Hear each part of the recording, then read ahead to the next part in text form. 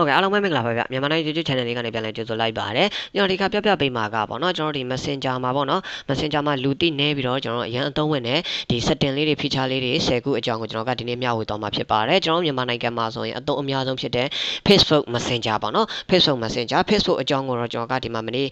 အရင်တနေ့ကတော့ကျွန်တော်တင်ပြီးပြီပေါ့နော်ဒီမှာ Facebook ကိုကျွန်တော်တို့ဒီဟိုလူသိနေပြီးတော့အရန်သုံးဝင်တဲ့အချက်ကလေးတွေပေါ့နော်အဲ့ဒါလေးတွေကိုကျွန်တော်ကဒီပြောဟိုအရင်ဗီဒီယိုတော့အရင်တော့တင်ခဲ့ပူပြီပေါ့နော်ဒီဗီဒီယိုမှာတော့ကျွန်တော်က Messenger အကြောင်းပြောမယ်ပေါ့နော်အကယ်၍ Facebook အကြောင်းကိုလည်းသိချင်တယ်ဆိုရင်အဲ့မှာတင်ထားတဲ့တွားကြည့်လိုက်ပေါ့နော်ကျွန်တော်ဒီဗီဒီယိုမှာလည်း link ပေးထားမယ်ပေါ့နော်ဒီဗီဒီယိုမှာတော့ကျွန်တော် Messenger ပေါ့နော် Messenger ကိုအသုံးပြုရတဲ့အခါမှာကျွန်တော်ပုံမလွယ်ကူကောင်းမွန်စေမယ်ဒီအချက်ကလေး၁၀ချက်ပေါ့နော်လူတွေတတိမထားမိတဲ့အချက်ကလေး၁၀ချက်ကိုကျွန်တော်ကဒီနေ့ပြပြပေးမယ်ပေါ့နော် Okay ကျွန်တော် Messenger အကြောင်းပြောမှဖြစ်တဲ့အတွက်ကျွန်တော် Messenger တွေကိုတစ်ချက်သွားလိုက်မယ်ပေါ့နော် Okay ကျွန်တော်ဒီဟာကိုတစ်ချက်ပြန်ထွက်လိုက်မယ်ဒီမှာဆိုရင်ကျွန်တော်တို့က ဟာပေါ့နော်ပထမအဆုံးပြောမှာကတော့ကျွန်တော်တို့ဒီဟိုတငယ်ချင်းတယောက်ထဲပေါ့နော်ကိုယ့်ရဲ့ဒီကို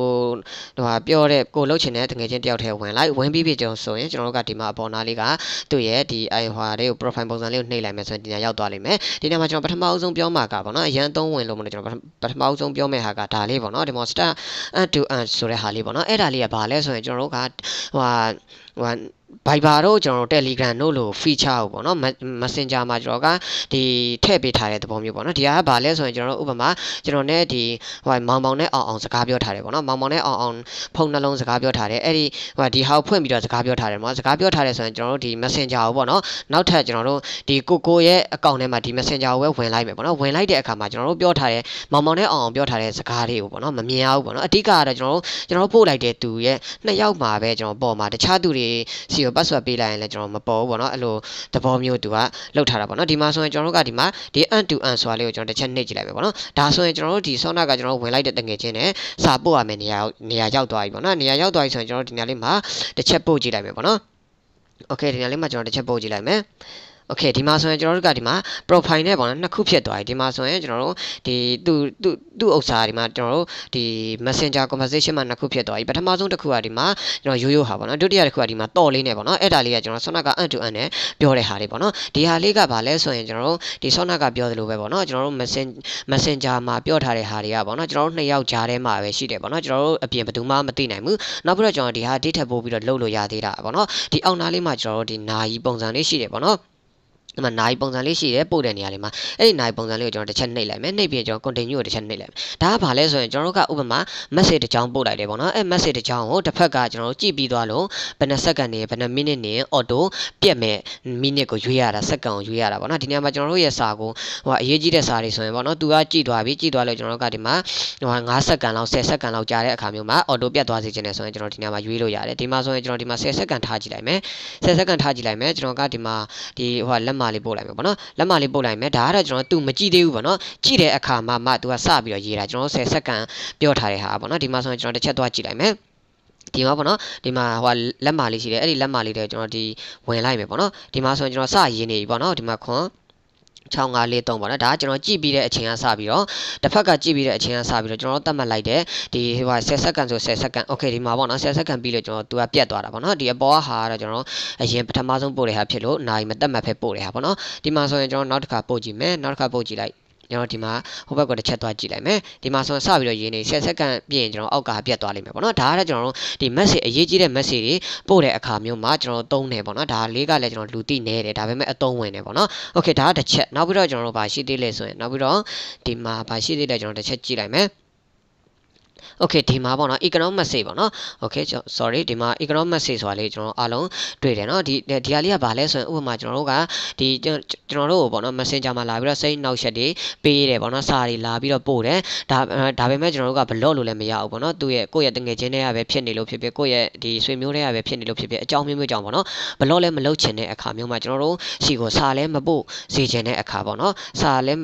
မရောက်စေချင်တဲ့အခါကျွန်တော်တို့ကအဲ့ဒီ economic message လေးကိုအသုံးပြုလို့ရတယ်ပေါ့နော်ဥပမာထားပါတော့ကျွန်တော်ကဒီမှာဒီဟိုဒီ account ပေါ့နော်ဒီ account ကိုကျွန်တော်ကဒီ economic လုပ်လိုက်မယ်ပေါ့နော် economic လုပ်ကြည့်လိုက်မယ်โอเค economic လောက်လိုက်ဒီမှာပျောက်သွားလိမ့်မယ်ဒီဟာကတော့ကျွန်တော်ဆောနာကဒီ end to end နဲ့လုပ်တဲ့ဟာမလို့ကျွန်တော်ဒါကို delete လိုက်မယ်ဒီမှာပျောက်သွားလိမ့်မယ်ပေါ့နော်ပျောက်သွားလိမ့်မယ်ဆိုရင်ကျွန်တော်ကဒီမှာသူ့ economic လောက်လိုက်ပြီ economic လောက်လိုက်တဲ့အချိန်မှာကျွန်တော်ဒီမှာတစ်ဖက်ကနေကျွန်တော်အဲ့ဒီ account ပေါ့နော်ဒီ account ကိုကျွန်တော်စာပို့ကြည့်လိုက်မယ်ပေါ့နော် โอเคကျွန်တော်တို့ဒီမှာကျွန်တော် line share တာနဲ့ဒီဘက်မှာရောက်မလာဘူးပေါ့နော်ဒီဘက်မှာလည်းကျွန်တော်တို့ကစာကအရောက်မပြဘူးပေါ့နော်ဒါကကျွန်တော်တို့ blog လည်းမလုပ်ဘူးကျွန်တော်တို့သူ့ကို unfriend လည်းမလုပ်ဖ ೇನೆ ပေါ့နော်ကျွန်တော်တို့ account ထဲမှာရှိနေရတာနဲ့ဒီမှာစာဘလောက်ပို့ပို့ဒီမှာမရောက်ဘူးပေါ့နော်ဆောနာကကျွန်တော်က ignore လုပ်လိုက်လို့ပေါ့နော်ကျွန်တော်တို့အဲ့လိုဟိုဟာတွေကိုပြန်ပြီးတော့ကြည့်ကျင်နေဆိုရင်ကျွန်တော်တို့ရဲ့ဒီ profile နဲ့ကိုသွားလိုက်မယ်ပေါ့နော်ကျွန်တော်တို့ဒီ profile နဲ့ကိုသွားသွားပြီးရင်ကျွန်တော်တို့ကဒီမှာ message request ဆိုတာတွေ့လိမ့်မယ်အဲ့ထဲကနေမှကျွန်တော်ဒီ span ထဲမှာပေါ့နော်ဒီဒီဘက် down ထဲမှာပေါ့နော်ဒီမှာ span ထဲမှာရှိနေလိမ့်မယ်ပေါ့နော်ဒီမှာဆိုရင်ကျွန်တော်တို့ဒီမှာသူပို့ထားတဲ့ ဲ့ဟာတွေကျွန်တော်တို့ဒီမှာရောက်နေလိမ့်မယ်ဒီမှာလက်မတွေပေါ့နော်အဲ့ဒါတွေကိုကျွန်တော်တို့ကပြန်ပြီးတော့ ignore ဖြည့်ခြင်းတယ်ဆိုရင်ပြန်ပြီးတော့ message ပို့လိုက်တယ်ဆိုရင်ပုံမှန်အတိုင်းကျွန်တော်တို့ပြန်ပြီးတော့ဒီမှာရောက်လာလိမ့်မယ်ဒါကတော့ ignore message ပေါ့နော်ကျွန်တော်တို့ကစိတ်အနောက်ချက်ဟိုဟာလာပေးတဲ့စာပို့တဲ့သူတွေကိုမ block ခြင်းဘူးကျွန်တော်တို့ unfriend လည်းမလုပ်ချင်တဲ့အခါမျိုးမှာဒါမျိုးနဲ့လုပ်လို့ရတယ်ဒါကနံပါတ်1ချက်ပေါ့နော် okay ဒါကတော့နံပါတ်1နောက်ဖက်နောက်ထပ်ကတော့ကျွန်တော်ဗာရှိသေးလဲဆိုရင်ကျွန်တော်တို့ဥပမာထားပါတော့ကျွန်တော်တို့ကလူတစ်ယောက်နဲ့ပြောထားတဲ့စာဟိုပုံနေပေါ့နော်ပုံနေကိုကျွန်တော်ဟို2019ပေါ့နော်တနစ်နှစ်လောက်ကြာသွားတယ်ကျွန်တော်တို့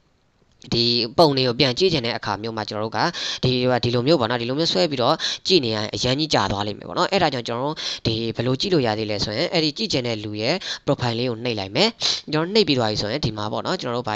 ဗာလဲဆိုရင်ကျွန်တော် view media and file ဆိုတာရှိတယ်အဲ့ဒါလေးကိုကျွန်တော်တစ်ချက်နှိပ်လိုက်မယ်ဆိုရင်ကျွန်တော်ဒီနေရာမှာကျွန်တော်တို့ပို့ထားတဲ့ဒီပုံတွေဗီဒီယိုတွေလာပြီးတော့ဒီနေရာမှာပေါ်နေလိမ့်မယ်ပေါ့နော်ဒီနေရာမှာတော့ကျွန်တော်ကဘာမှပို့ထားတာမရှိတဲ့အတွက်ဒီနေရာမှာမပေါ်တာပေါ့နော်အဲ့လိုမျိုးနဲ့လဲကျွန်တော်တို့ပုံတွေ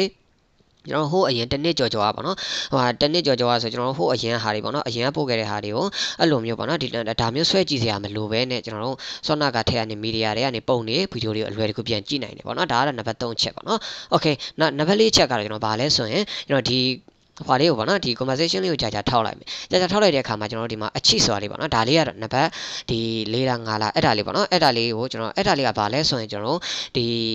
ကျွန်တော်တို့ဒီ conversation ကိုယာယီဖျောက်ထားလိုက်တာပေါ့နော်ဒါလေးကိုကျွန်တော်တစ်ချက်နှိပ်လိုက်မယ်နှိပ်ပြီးရင်ကျွန်တော်ဒီမှာပေါ်ဆုံးအားဟာလေးနှိပ်လိုက်မယ်ဆိုရင်ဒီမှာပျောက်သွားတယ်ပေါ့နော်ပျောက်သွားတယ်အဲ့ဒါကကျွန်တော်တို့ဒီဟိုကျွန်တော်တို့ဟိုခဏခဏတာပေါ့နော်ခဏတာကျွန်တော်တို့ conversation တစ်ခုကိုဖျောက်ထားခြင်းတယ်ဆိုရင် security ကဖျောက်ထားခြင်းတယ်ဆိုရင်အဲ့ထဲကိုကျွန်တော်တို့လုပ်လို့ရတယ်အဲ့ဒါကိုကျွန်တော်ဘယ်မှာပြန်ကြည့်မလဲဆိုရင်ဒီမှာပေါ့နော် ဒီထဲမှာကျွန်တော်တို့ဒီမှာပါတယ်ဆွမ်းနာဟာလေးပဲဒီမှာပေါ့နော်ဒီထဲလေးကိုကျွန်တော်တို့ကတစ်ချက်ဝင်ကြည့်လို့ရတယ်အဲထဲလေးကိုကျွန်တော်တစ်ချက်ဝင်ကြည့်မယ်ဆိုရင်ဆောနာကဟာပေါ်နေလိမ့်မယ်ပေါ့နော်ဒီမှာထိတ်ဆုံးမှာဆောနာကကျွန်တော်အချိလောက်လိုက်တဲ့လူဒီထဲမှာပေါ်နေလိမ့်မယ်ကျွန်တော်တို့ကဒီမှာပြန်ဟိုနဲ့အဲ့ဒါကိုပြန်ပြီးတော့ conversation နဲ့ရောက်စေချင်တယ်ဆိုရင်ဒီမှာကျွန်တော်တို့အချိဆိုတာနှိပ်လိုက်မယ်ဆိုရင်ကျွန်တော်ဒီနေရာလေးမှာပြန်ပြီးတော့အပေါ်ဆုံးကရောက်လာလိမ့်မယ်ပေါ့နော်ဒါက conversation ကိုကျွန်တော်တို့ခိတ္တယာယီ height တယ်နီးပေါ့နော် okay နောက်ထပ်တစ်ခုကဘာလဲဆိုရင်ကျွန်တော်တို့ဒီ profile နဲ့ကိုတစ်ချက်သွားမယ်ပေါ့နော်နောက်ထပ်တစ်ခုကကျွန်တော်တို့ ဘာကိုပြပြမလဲဆိုရင်ကျွန်တော်ဒီမှာပေါ့နော်ဒီ user name ဆိုတဲ့ဟာလေးပေါ့နော်ဒါကဘာလဲဆိုရင်ကျွန်တော်တို့ဒီ user name တော်တော်များများ Facebook မသုံးတတ်တဲ့လူတွေ user name တော်တော်များများလုံမထားတတ်ကြဘူးပေါ့နော်ဒီဟာလေးကဘာလဲဆိုရင်ကျွန်တော် Facebook link နေပေးတဲ့အခါမျိုးမှာပေါ့နော်နောက်ဟိုတချို့ဟာရှိတယ်နောက်မှာကျွန်တော်1000ဘာညာကျွန်တော်တို့ဒီကနန်းနေဟို15လုံးလားမသိဘူးပေါ့နော်တချို့ကကြလဲဒါမျိုးကျွန်တော်နာမည်လိုဟာမျိုးလေးတွေနဲ့ပေါ့နော်နာမည်လိုဟာလေးတွေနဲ့ကျွန်တော်တို့ကဒီအထာကြကြ link လေးတွေပေါ့နော် အဲ့ဒါကဘာကွာတာလဲဆိုရင်ဒီနေရာမှာပေါ့နော် user name ထည့်တာမထည့်တာကွာသွားတာအကယ် user name ကျွန်တော်တို့ထည့်ခြင်းတယ်ဆိုရင်ဒီနေရာလေးမှာတစ်ချက်နှိပ်ပြီးတော့ကျွန်တော်တို့ထည့်လို့ရတယ်ဒီနေရာမှာဆိုကျွန်တော်ကထည့်ပြီးသားဖြစ်လို့ add user name ပေါ့နော် add user name ကိုနှိပ်ပြီးတော့ဒီနေရာမှာကျွန်တော်တို့ကထားလို့ရတယ်ပေါ့နော်ဒီနေရာလေးမှာကျွန်တော်နီနေတော့မရဘူးပေါ့နော်နီနေတော့ဥပမာပြမယ်ကျွန်တော်တို့က okay ဒီမှာ joker ဆိုရင်ကျွန်တော်နီးနေတယ်ပေါ့နော်သူများထားပြီးသားရှိလို့ထားလို့မရဘူးအဲ့ဒီအခါမှာကျွန်တော်ကထပ်ပြီးတော့ကဏန်းလေးတွေပါလေးတွေကျွန်တော်ကလိုက်ပြီးတော့ထည့်ပေးရတယ်အဲ့ဒါဆိုရင်ကျွန်တော်ဒီနေရာမှာအနီမဟုတ်တော့ဘူးဆိုရင် sit button လေးလင်းလာတယ်ဆိုရင်ကျွန်တော်ကဒီမှာ user name ကိုထားလို့ရတယ်ပေါ့နော် okay ဒါကတော့ကျွန်တော်တို့ရဲ့ဒီတစ်ချက်ပေါ့နော်ဒီဟာကကျွန်တော်ကဒီမြန်မြန်ပြောနေတယ်ဆိုတော့ video လေးအရန်ရှည်ပြီးတော့ပြင်းနေမှာဆိုတော့နောက်ပြီးတော့ data ဈေးတွေကလည်းကြီးနေလို့ပေါ့နော်အဲ့ဒါကြောင့်ကျွန်တော်ဒီနေရာမှာမြန်မြန်ပြောနေတာဖြစ်တယ် okay နောက်ပြီးတော့ကျွန်တော်တို့ကနောက်ထပ်ပါအောင်ထပ်ပြီးတော့ပြောပြပေးမှလဲဆိုရင်ကျွန်တော်တို့ကဒီမှာ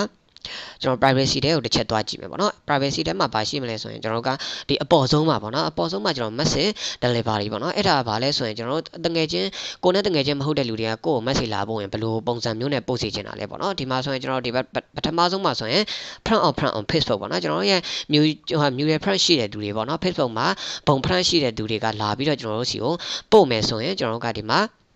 ဟိုဟာရွေးလို့ရတယ်ဘယ်လိုဟာလဲ chat ဆိုတာကတော့ကျွန်တော်တို့ကတန်တူပို့လိုက်ချင်းကျွန်တော် message request တွေပါတယ်မဟုတ်ဘူးပေါ့နော်ဒီနေရာမှာတန်းပြီးတော့ကို messenger ပုံမှန်စကားလာပြောတယ်လို့ရောက်သွားလိမ့်မယ်ဒီမှာဆိုရင်ကျွန်တော် message request ဆိုတာတော့ကျွန်တော်တို့ Sona ကဒီဟို message ပေါ့နော် message တွေကိုလာပြီးတော့သူကဟိုဟာ message request ထဲကိုလာမှာပေါ့နော် don't receive message ဟို request ဆိုတာတော့ကျွန်တော်ဗာလဲဆိုရင်အဲ့ဒါကျွန်တော်တို့စီကိုစာမရောက်ဘူးပေါ့နော်စာမရောက်တဲ့ပုံစံမျိုးနဲ့လာမှာကျွန်တော်ပို့လို့မရအောင်ပေါ့နော်အဲ့လိုသဘောမျိုးဒီမှာဆိုရင်ကျွန်တော်ကြိုက်တာထားလို့ရတယ်အပေါ်ဆုံးမှကျွန်တော် check ကိုထားလိုက်မယ်ဆိုရင်ကိုနဲ့ဘုံ friend ရှိတဲ့တငယ်ချင်း Facebook တွေ Facebook မှာလာပြီးတော့စကားပြောရဲဆိုရင်ပုံမှန်တိုင်းကိုယ့်စီမှာ Messenger notification တက်လာလိမ့်မယ်ပေါ့နော်ဒီမှာ message request ထားမယ်ဆိုတော့ message request ထဲမှာကျွန်တော်တစ်ချက်သွားပြီးတော့ကြည့်ပေးရမှာပေါ့နော်ဒါကတော့ကျွန်တော် front of front ပေါ့နော်နောက်ပြီးတော့ကျွန်တော်ဒီအောက်မှာကတော့ other ပေါ့နော် front of front မဟုတ်ဘူးကျွန်တော် other ကိုနဲ့ front of front လည်းမဟုတ်ဘူးတခြားပေါ့နော်ဒီဇိမ်းတွေကလာပြီးတော့ပြောရဲဆိုရင်ကျွန်တော်ကဘယ်လိုပုံစံမျိုးနဲ့လာစေချင်တာလဲဒီနေရာမှာတော့ကျွန်တော် chat ဆိုတာမပါတော့ဘာလို့လဲဆိုရင်ဒီဇိမ်းဆိုတော့ကျွန်တော်တို့ဒီ messenger မှာလာပြီးတော့ပြောချင်တိုင်းပြောလို့မရအောင်လုပ်ထားတာဖြစ်တယ်ပေါ့နော်ကျွန်တော်တို့ကဒီဇိမ်းတွေကိုလုံးဝမပြောစေချင်ဘူးဆိုရင် don't worry ကျွန်တော် request ဆိုအောင်နှိပ်ထားလိုက်ရင်ကျွန်တော်တို့ဒီ message ကိုလာပြီးတော့ပြောလို့မရဘူးပေါ့နော်သသိန်းတွေကကျွန်တော်တို့လာပြီးတော့ပြောလို့ရမှာမဟုတ်ဘူးပေါ့နော်နောက်ပြီးတော့ကျွန်တော်တို့ဗာရှိသေးလဲဆိုရင်ကျွန်တော်တစ်ချက်ကြည့်ကြည့်မယ်โอเคဒီမှာကျွန်တော်တို့နောက်ပြီးတော့ကျွန်တော်ဒီမှာ login ပေါ့နော်ဒီထဲမှာကျွန်တော်တို့ Messenger login ဝင်ထားတဲ့ device တွေကိုကျွန်တော်ကြည့်လို့ရတယ်ပေါ့နော်ဒီနေ့မှာအကယ်၍ကိုဟိုကိုယ့်ရဲ့ဒီ location မဟုတ်ဘူးဆိုရင်ကျွန်တော်တို့ကဒီနေ့မှာ log out တွေဒီ Facebook ကို password တွေပါတယ်ပြန်ပြီးတော့ change ပေါ့နော်ဒီနေ့လေးမှာကျွန်တော်တစ်ချက်ဝင်ပြီးတော့ကြည့်နိုင်တယ်โอเคနောက်ပြီးတော့ကျွန်တော်တို့ဒီနေ့မှာ store ဟာ mass ဟို SMS ပေါ့နော် SMS ကကျွန်တော်တို့တော်တော်များများကျွန်တော်တို့ဒီ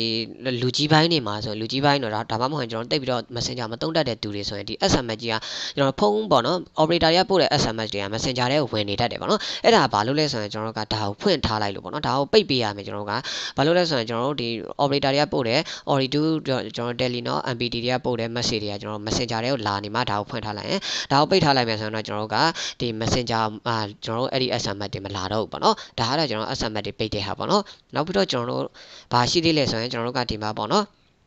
ဒီမှာကျွန်တော်တို့ဖုန်း contact ပေါ့နော်ဖုန်း contact ကကြတော့ကျွန်တော်အရန်သုံးဝင်တယ်ပေါ့နော်ဘာလို့လဲဆိုရင်ကျွန်တော်တို့ဒီ